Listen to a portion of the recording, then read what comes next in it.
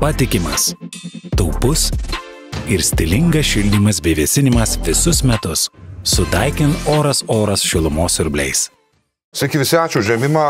Marius Lurinavičius, mūsų svečias, apie kurį kartais sakau, dažniau sakau, seniai matytas, tai šį kartą taip nėra, jis ne, visai neseniai pas mus buvo ir jis dabar čia dažniau dėl to, kad labas Mariu, ko žiūri. Aš laukiu, kaip tu mane pristatysi. Dažniau Marius dėl to, dėl to, kad vyksta politinio gyvenimo suaktyvėjimas, vadinkim tai taip.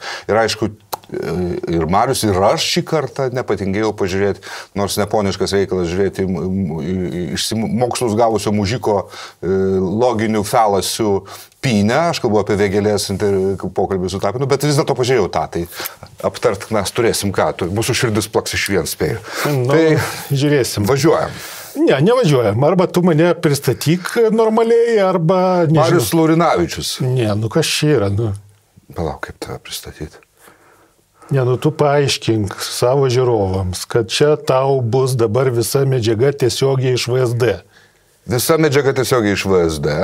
Marius Laurinavičius seka šitos dalykus. Ne, ne, nu tu aktualiai nežinai. Aš esu oficialiai viešai paskelbtas žmogumi, kuriam VSD vadovai renka informaciją ir perdoda. Tai aš, aš, nežinau. tai aš turiu visą garažą informacijos dabar prisidėjęs, nu ir vaikšto visiems čia dalinu. Tai ir pas tave čia tokie. Supratau, reiškia, aš ne vienas dabar toks esu. A, tai tu, ai, tai tu stukačius esi dabar. Ne, aš Ne, tu nepainiok, ne aš VSD, VSD vadovai patys. Taip. taip liepia rinkti, žinai, ten toks gailius yra tas taip, taip, garsus veikėjas. Taip. Jo, jo, tai, tai, tai jisai dabar papasakojo naują savo istoriją, mhm. čia pasakojo, ilgai pasakojo apie tai, kiek, kiek ką nausėda ten pridarė, neva, dabar papasakojo naują istoriją, kad mane nuo 17-18 metų VSD vadovai, man, jam liepia rinkti informaciją ir po to perduoti man. Mm. Tai va, tai aš sakau, turiu pilną garažą informacijos, dabar neturiu kur dėti, tai atėjau su tavim pasidalinti. Tai dabar tegul visi žiūrovai žino, kad na, visa tai, ką aš čia pasakysiu, nu tiesiog tiesiai iš VSD, visa informacija. Labai gerai. Be, be kita ko, e, šitą informaciją, kurią išgirsit šitos laidos metu, jinai dubliuosis ir su Marijos substaku. Taip kad jeigu e, manot, kad manęs išvengsit substakė Marijos, tai think twice.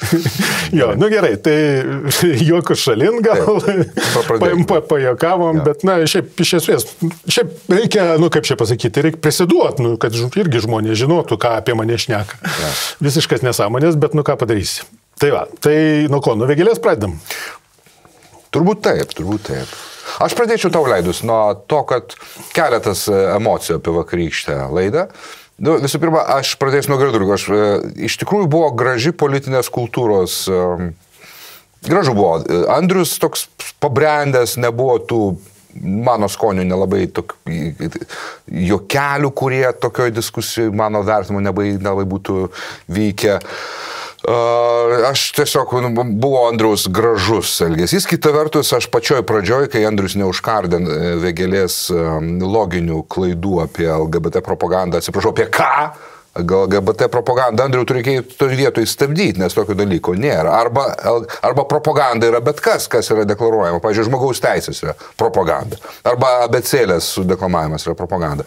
Tai Andrius net ne, ne, net kirto tinkamai į loginę klaidą, kurią Vėgelė puikiai suprasdamas, kad tai yra loginė klaida, aš spėjau, deklaravo, kad LGBT propaganda stabdo gimstamumą Lietuvoje. Tai suprask logika tokia, kad eina uh, straight, reiškia, heteroseksualus vyras ar moteris gatvė pamato e, gėjų paradą, kuriame yra kovojama už uh, homoseksualių žmonių teises ir tas žmogus iškart tampa gėjim ir, ir tokiu būdu jis nepagimdo vaikų.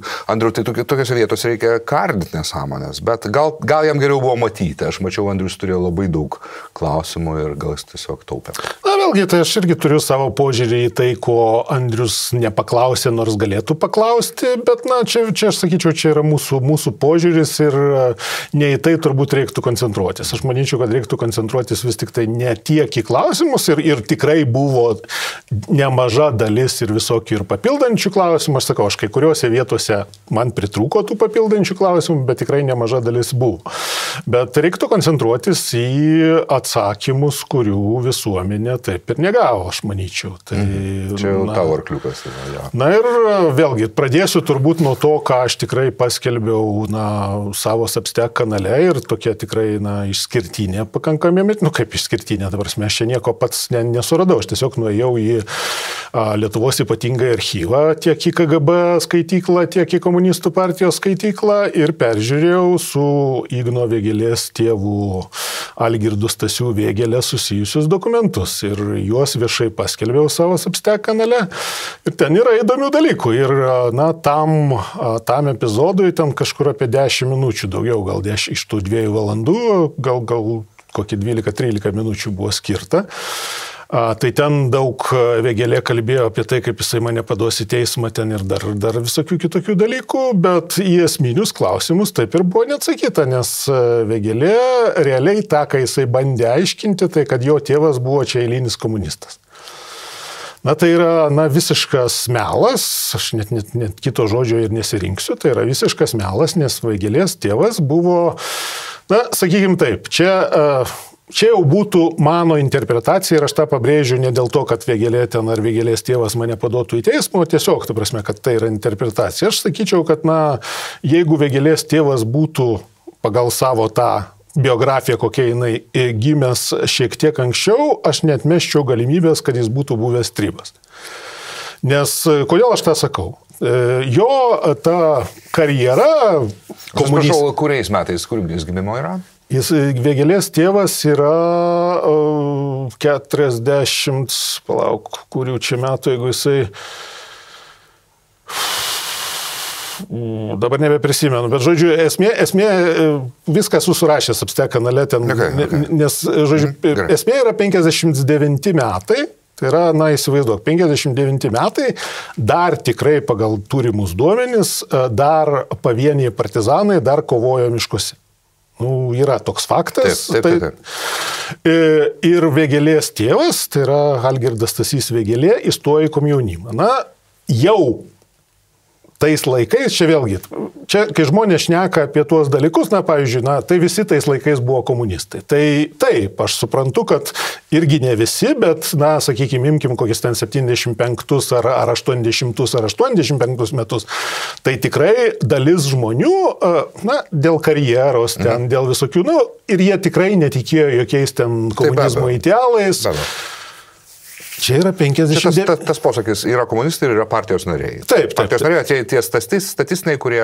Taip, aš, aš ja. su tuo visiškai taip. sutinku, bet čia yra 59 metai. Okay. 59 metais, va taip, va, bet kas nei į komjaunimą, nei į partiją nestojo. Tai, tai čia tiesiog yra kvislingizmas. Taip, tai, tai, tai apie, apie tą reiktų ir šnekėti. Bet dar jisai įstojo 59 metais į komjaunimą Ir visur, visose biografijose, kadangi ten tikrai kiek, tuose bylose aš net nežinau, kiek ten 10-15 įvairiausių biografijų, nes kiek, kiekvienu ten jo karjeros laipteliu vėl ten naują biografiją reikia rašyti jam. Mhm.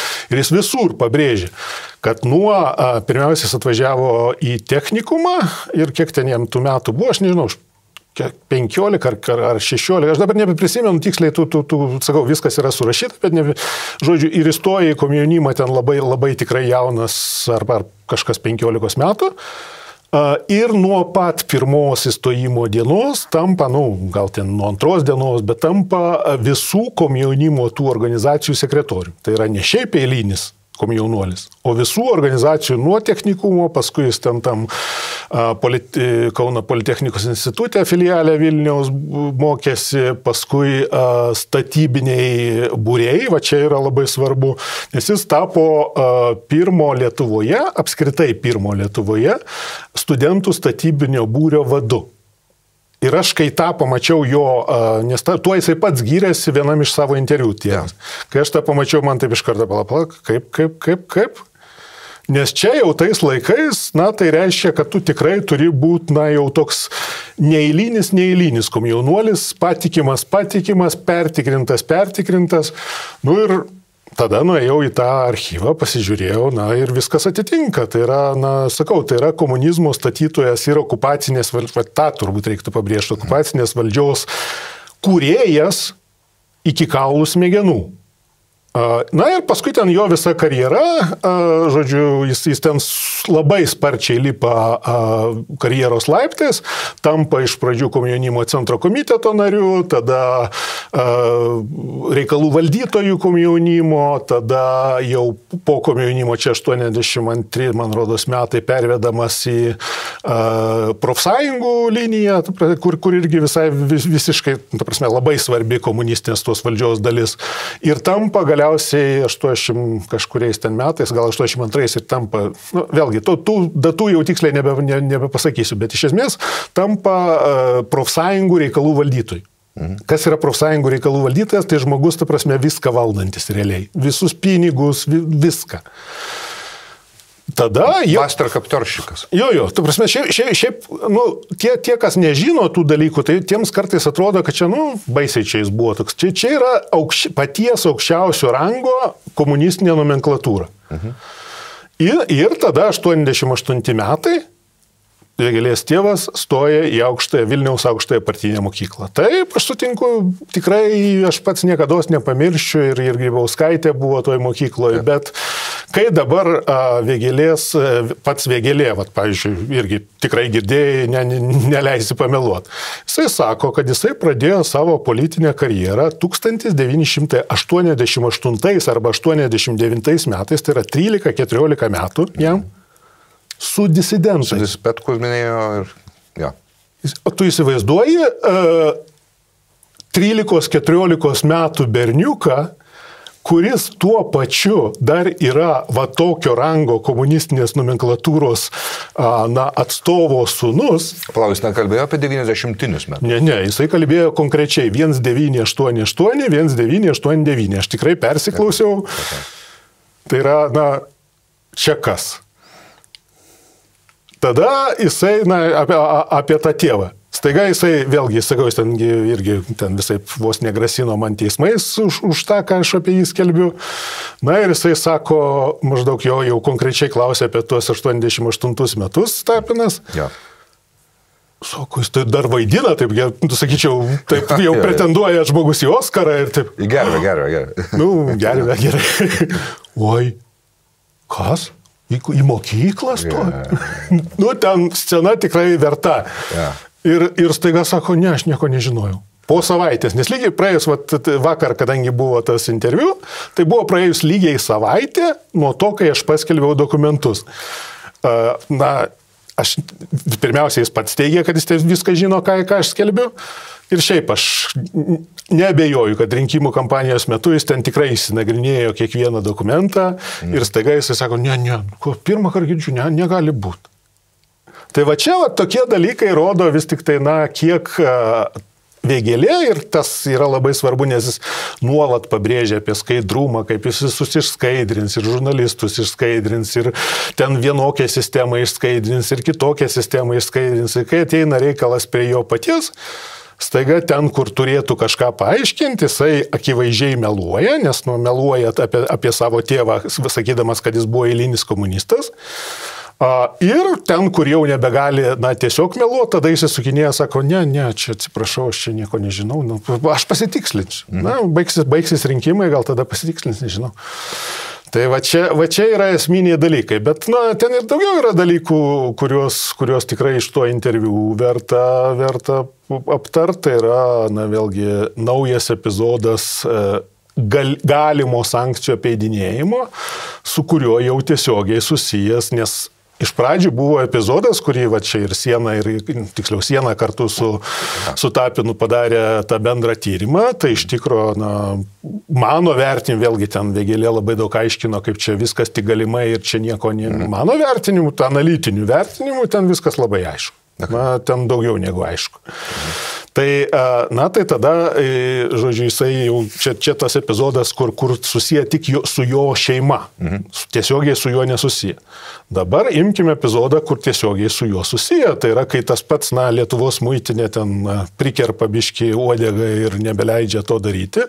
Staiga, vėlgi ten viskas buvo parodyta, šoka iki to, tokio pačio lygio Latvijos bendrovė, kuri tai pačiai Vilprai priklauso ir kurios valdybos narys iki praėjusių metų pačios pačios pabaigos buvo pats Vėgelė.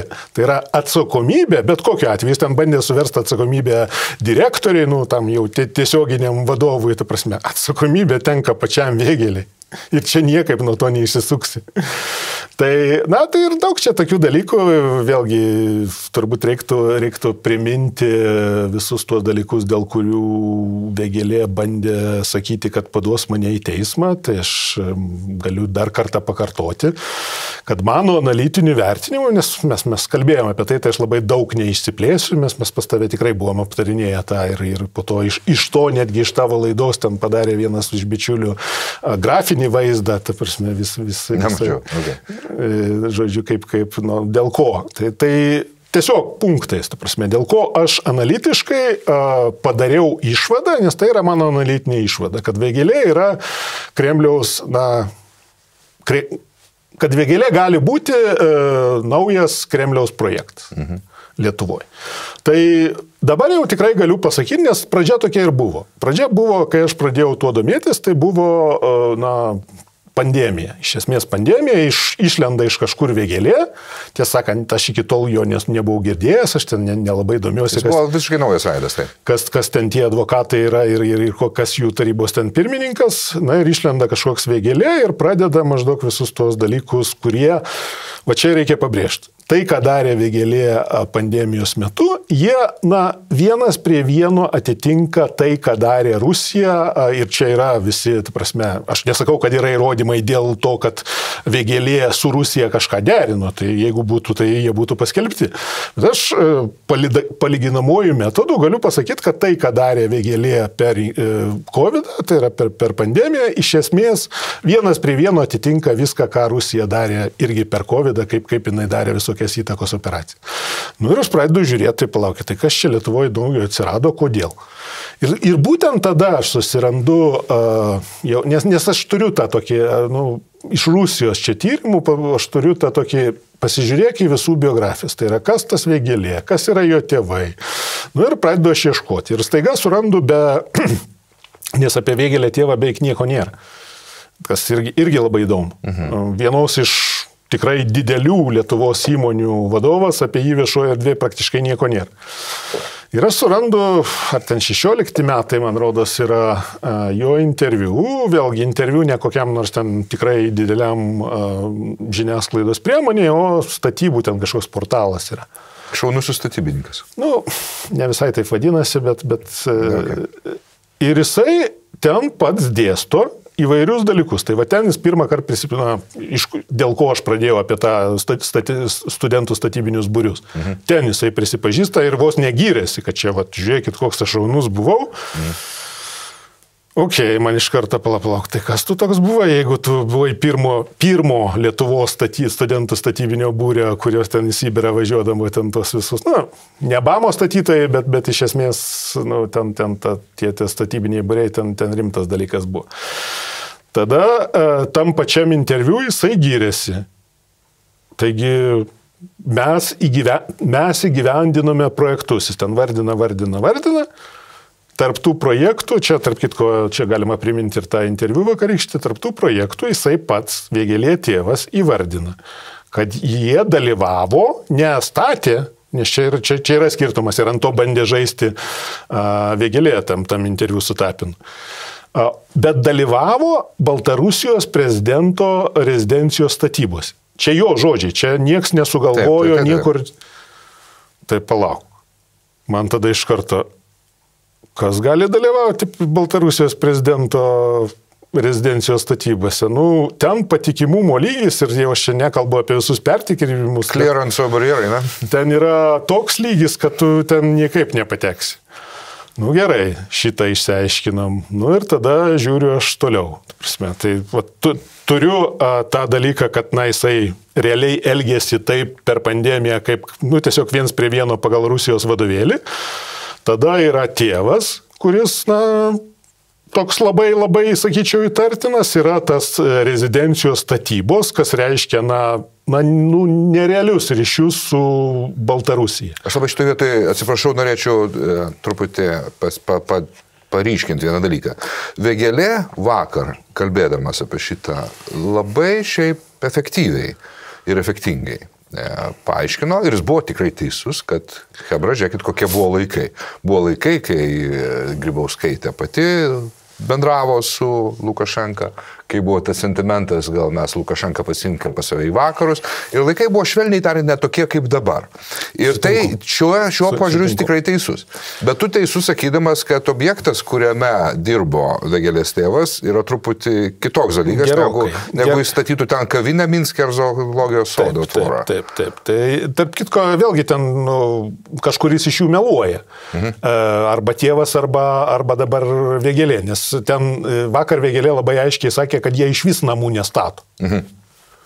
Nu, ten labai aiškiai, juodo ant balto, tam interviu yra pasakyta, kad jie statė namus Baltarusijoje ir Kaliningradė. Ir niekaip ne kitaip suformuoluoto, statė namus Baltarusijoje ir Kaliningradė. Okay. Tai kažkuris iš jų meluoja. Mhm. Bet ne, čia, čia yra apie Baltarusijos rezidencijos bet koks, netgi taip, kaip aiškino uh, Vakar e, tam interviu su Tapinu Vėgelė, kad čia neva jie pardavinėjo kaminų įdėklus ir tie įdėklai atsidūrė ten toj, toj rezidencijoje ir čia va, tik toks dalyvavęs. Net jeigu būtų taip, ne viena bendrovė šiaip iš užsienio, bet tu gali būti, kad pati geriausia, kokia nori. Na, pirmiausia, tai pasakykim vieną paprastą dalyką. Baltarusijos prezidento rezidencijai tu gali nusipirkti, nežinau, deimantinius kamenus. Jeigu tau, jeigu tau labai norisi, ten nėra nei kainos, nei gavimo problemų iš niekur. Ten nėra tokio dalyko, kad, nu, va, žiūrėk, nu, žiūrėk, man gera kaina pasiūlė ir dar čia, na, arti yra, nereikia niekur vežti, tai važiuok pasimsim šitą. Taip, ne, ne taip ten yra daroma. Tai čia yra pagrindinis dalykas, kad supras, kad maždaug atėjo vėgelės firma, sako, žiūrėkit, nu, Mes, mes norim sudalyvauti čia pas jūs konkursė, na, nes, nes taip žmonės kartais galvoja. Kad, nes, nes mums tai yra normalu, nu, atrodytų, nu, va, yra kažkoks konkursas, kažkas dalyvauja, kažkas pateikė ten pasiūlymą, sako, o geras pasiūlymas. Nu, ne taip vyksta Baltarusijoje ir Rusijoje. Tai va čia yra pagrindinis klausimas, tai kaip jie pateko į, na, va, tą, net, net jeigu tik tai tuos kaminus ten statė, kaip jie pateko prie Baltarusijos e, prezidento rezidencijos statybų. Iš karto, iš, iš karto klausimas labai paprastas, tai prasme, kokie ryšiai su KGB? Mhm. Nes Baltarusijos KGB. Taip, taip, taip. Nes, nu, ten, sakau, ten tikrinimai yra tokio lygio, kur, kur mes sunkiai įsivaizduojame.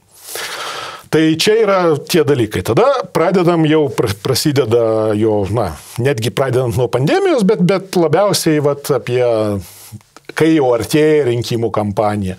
Ką Vėgelė daro pirmiausia, na, kuo, kuo jis labiausiai išgarsėjo? Na, tu, tu, turbūt iki rinkimų kampanijos, turbūt tuo, kad jisai darė viską, kad sugriautų Lietuvos paramą Ukrainai. Viso įvairiausias akcijas ten darė, įvairiausius ten rašė ten kažkokius ten kreipimusis į visokias ten prokuratūras, ten kur tik nori, jis ten, nu, jis iš esmės, iš esmės jis buvo vienas iš tų, kuris, ne, ne, ne vienintelis jokių būdų, bet vienas iš tų, kuris bandė nuolat greuti ir, ir sakyti, kad maždaug, tipo, nereikia čia tai Ukrainai padėti. Ten, Turime jo E, jo veiksmai, greunant tokių e, paramos rinkėjų kaip Tapinas ir kiti autoritetai. Atseit insinuacijos, kad jis taip, taip, taip. pralošinėjo tos pinigus, kur Vėgelė šiaip gana gudriai ten išsisukinėjo, ten e, ekvilibristika žodžiais, kad ten Las Vegas, lošimai, kažkas, tam jis ten gudriau darė ne koks nors Orlauskas. Ne, tai, tai aš sutinku, bet tai nu, nuo to niekas nesikeičia. Jisai vis tiek buvo vienas iš tų pagrindinių, kurie bandė sugriauti, nes vėlgi Nu, ne, ne apie Tapiną čia kalba, o apie Lietuvos žmonių paramą ir vėl ne vienas Tapinas ten buvo ir tikrai ne prieš vieną Tapiną ir, ir, ir Vėgėlė. Vėlau, taip, taip, taip. Tai Vėgelė buvo tas, kuris bandė sugriauti va, tą paramą. Iš karto reikia pasakyti, kad Vėgelė darė tai vedinas gerų intencijų skaidrinti, anot jo neskaidrų, tokių paramų rinkimo mechanizmą. Kas skamba validžiai, reikia pripažinti. E, aš ne, nesu labai, kaip sakant, tikras, kad jisai buvo ten kaip nors labai neskaidrus. Čia mhm. yra pateikimo reikalas. Okay. Mano vertinimu tas e, paramos teikimo mechanizmas buvo skaidrus ir pritaikytas tam, na, tam atvejui. Mhm. Ir e, tai, ką aš mačiau, tai aš mačiau, na, visiškai kabinėjimąsi ir bandymą, sakau, bandymą piktybišką, bandymą sugriauti, na, tą patį naratyvą, net, net ne pakenkt paramai, bet patį naratyvą. Nu, pažiūrėkit žmonės, ką jūs čia darote. Jūs remiate, jeigu pinigai nu, nueina jums iki šiandien? Nu. Taip. Akivaizdžiai. Tai, tai, tai, tai, tai va tą aš ten mačiau. Ir tada, ir tada iš karto kyla klausimas, palaukit, o kodėl Lietuvos žmogus tokius dalykus daro? Nu, kodėl? Nu, ir, ir, ir, ir vėlgi, nu, Man tada klausimas, o tai, tai nėra tai, ką, ką Kremlius norėtų daryti. Nu, akivaizdžiai yra, ką Kremlius norėtų daryti. Dar vienas argumentas. Nu, tada pradedam žiūrėti visas jau politinės pozicijas. Nuo dabar jau visiškai išsiriškinusios na, rėmimo realiai santykių su Baltarusija. Mhm. Ir bandymo paaiškinti, kad Baltarusija neva nėra ta pati Rusija. Čia, na, vėlgi, čia, čia gali sakyti, kad žmogus na, totaliai nesigaudo, kas, kas yra tarptautinė, na, kas, kas net netarptautinė, o kas, kas yra Rusija, kas yra Baltarusija, tai gali ir taip sakyti, kad jis totaliai nesigaudo.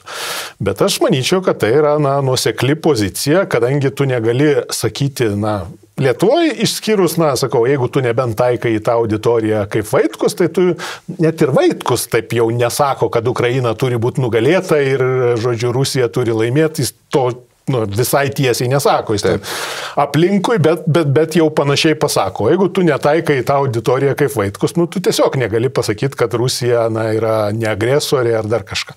Tai tada tu ieškai kitų būdų ir mano vertinimu Vėgelė ir surado kitą būdą pasakyti, kaip Na, vat, kaip, kaip čia dabar aš esu už Rusiją, prasme, iš esmės per Baltarusiją. Tai Baltarusija, tada ten kokia nors vėgelės pozicija, ten artimųjų rytų klausimas. Aš jau nekalbu apie vėgelės e, poziciją, kuri netgi yra akivaizdus interesų konfliktas, kaip dabar jau paaiškėjo dėl Kinijos. Nes čia yra akivaizdus interesų konfliktas, kur tavo įmonė prekiauja milijoninę apyvartą su Kinijos bendrovė ja. ir, tu, ir tu sakai, kad maždaug tipo bloga Lietuvos politika, buvo nes reikia. Įdinga, įdinga jisai. Nes reikia nes reikia bendrauti, draugauti su Kinija. Va čia yra pagrindinė esmė. Tai visi tie dalykai jau čia politinės pozicijos. Susideda irgi į vieną, na, į tokį, kur jau aš apibendrindamas, vat, kai, kai aš apibendrinu apie visą rinkimų kampaniją, aš sakau, kad yra keturi Lietuvos kandidatai rinkimų kampanijoje ir keturi kandidatai atstovaujantis priešui. Tai nereiškia vėlgi, tai nereiškia, kad jie yra ten kažkokie priešo agentai būtinai, kai, kurie, kai kuriuos aš vadinu Kremliaus projektais, kai, dėl kai kurių turiu abejonių, ar čia Kremliaus projektas, ar jie čia savo kažkokius politinius žaidimus, bet jie atstovauja, na, tam priešo visai ideologijai, naratyvui priešo, priešo interesams netgi. Visa, visa. O priešą, priešais aš laikau žymiai plačiau negu, negu Rusija, nes mes dažniausiai kalbam tik apie Rusiją. Bet kadangi pasaulis šiuo metu yra tiek pasikeitęs ir tiek globalus ir grėsmės yra tiek globalios, kad kalbėti net apie e, kokią nors Rusijos grėsmę be Kinijos, nu, nėra apie ką kalbėti, nes nu, akivaizdu, kad ne, vėlgi čia kokie nors pasimkim netgi Blinkeno citatą, be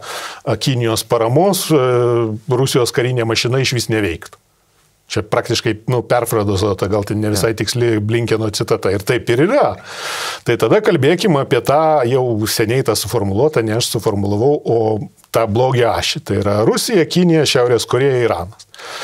Nes, nu, pagal čia regioniškai iš tikrųjų labai, ten yra ir daugiau tų valstybių, kurios įeitų į tą blogį ašį, bet, bet grinai pagal, pagal žemėlapį, regioniškai, geografiškai čia yra ta, ta blogio ašis. Tai aš laikau, kad tie kiti keturi kandidatai, jie, jie atstovauja va tai, na, tos blogio ašies realiai interesams. Ir aišku, vėgelė, vėgelė prie, prie to pačio. Tai čia yra politika. Dabar sankcijų tai apeidinėjimo klausimai. Na, apeidinėjimas sankcijų, sakau, pirmas tas tyrimas padarytas, mano skirtingai negu vėgėliai, man ten viskas aišku, mhm. man ten galimai, taip galimai, nes nieks neįrodė, bet man klausimų nekyla, analitiškai man klausimų nekyla.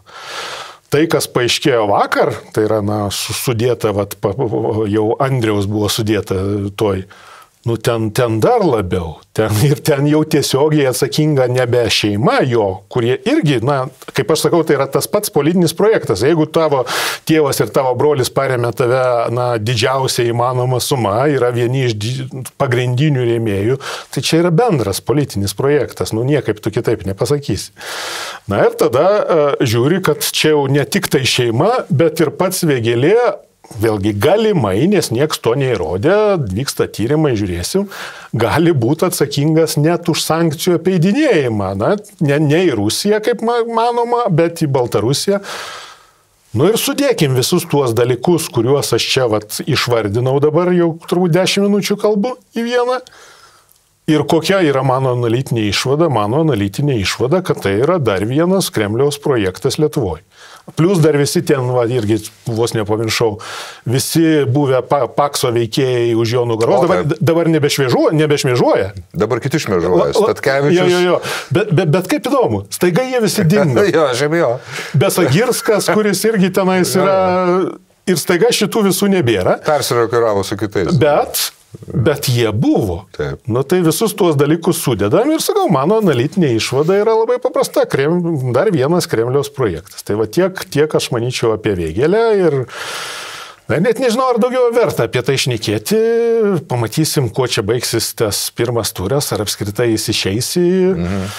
į tą antrą turą. Man įspūdis, žinok, yra, kad Kaip čia pasakius, aišku, demokratija yra gerai ir, ir debatai yra gerai ir aš džiaugiuosi, pabrėžiu dar kartą, dėl aukštos e, laidos kokybės, šiaip jau reikia pripažinti, bet e, aš bijau, kad Vėgelė dabar visus daug, daugybę abejojančių patraukė į savo pusę labiau negu, negu Laisvės TV norėjo, kad būtų atvirkščiai kaip aš matau. Ir Vėgelė, Vėgelė atstovėjo geriau, negu aš galėjau iš jo tikėtis. Jis buvo iškalbus, jis gerai pasiruošęs. A, aš sutinku, kad jis buvo labai gerai pasiruošęs, bet aš manyčiau vėlgi. Čia yra klausimas, kiek mes vertinam a, žmonių sugebėjimą mąstyti. Mhm. A, nes aš manyčiau, kad e, mąstančiam žmogui a, Tai klausim, tai, tai yra, tu prasme, mąstančiam žmogui atvirkščiai, negu tu sakai, tai yra iš to, kas buvo per visą interviu, čia, nu, jau, jau dalį aptarėm, Taip. bet ir ten daugiau buvo tokių, kur, kur, nu, akivaizdu, kad vėgelė arba meluoja, mhm. arba išsisukinėja, arba neturi kaip atsakyti. Tai mąstančiam žmogui aš manyčiau, kad viskas aišku. tik sustiprino jo, jo, jo blogio. E, bet, aspektą. bet aš sutinku, kad didžioji dalis jo rinkėjų yra nemastantis visiškai visiškai. Ar... Jie sako, turbūt šiandien aš netikrinau, bet jie turbūt sako, vėgelė gerai įkritė.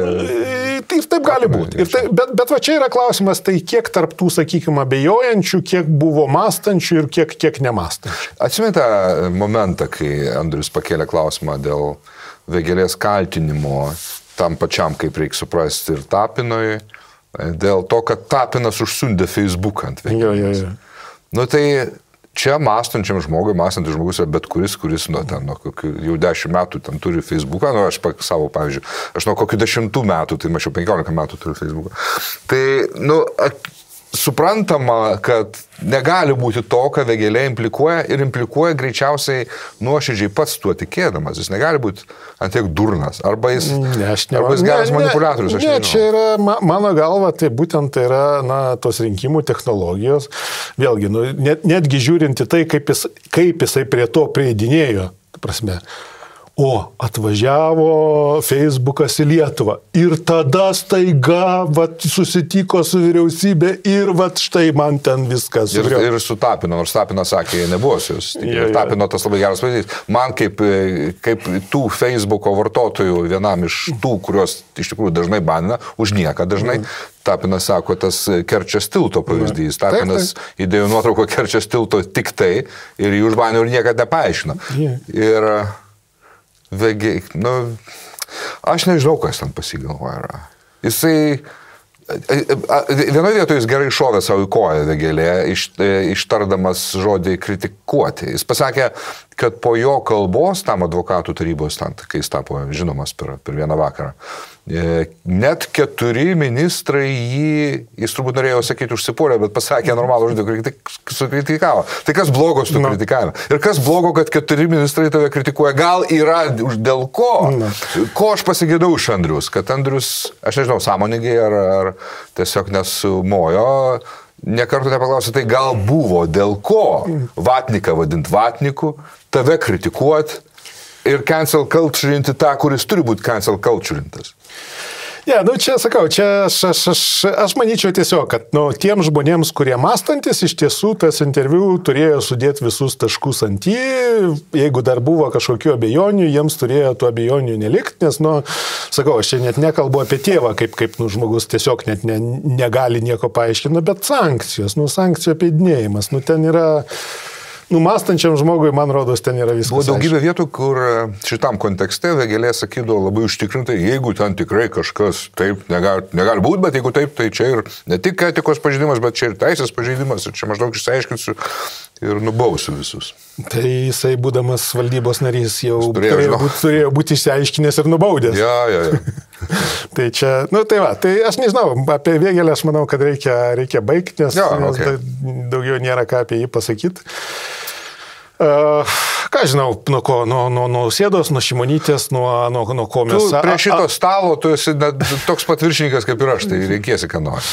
Uh, gal porą žodžių apie, nes uh, aš buvau linkęs iš viso nekalbėti apie visus kitus tris uh, na, kandidatus, kuriuos aš laikau priešo kandidatais, bet mhm. porą žodžių tiesiog apie, jų, apie jų vaidmenį, žiūrint iš, vėlgi, dar kartą pabrėžiu, tai nėra kažkokie įrodymai ar dar ką nors, bet kadangi aš analizuoju visus tuos dalykus iš Rusijos perspektyvos, kaip aš matyčiau iš Rusijos perspektyvos, kokie, e, kokie yra vaidmenys va, visų šitų, nes tą, tą ko gero visai visai, visai verta būtų aptart, nu, tiesiog su žmonėms yra pakankamai svarbu žinoti. Nes kai kas, pavyzdžiui, klausia, o to tai nebūtų, nes net, net man rodos pas mane Facebook'e toks buvo klausimas, o nebūtų protingiau, jeigu čia yra na, kažkaip susijęs su Rusija, tai ar nebūtų protingiau Rusijai uh, turėti vieną kandidatą? Mhm.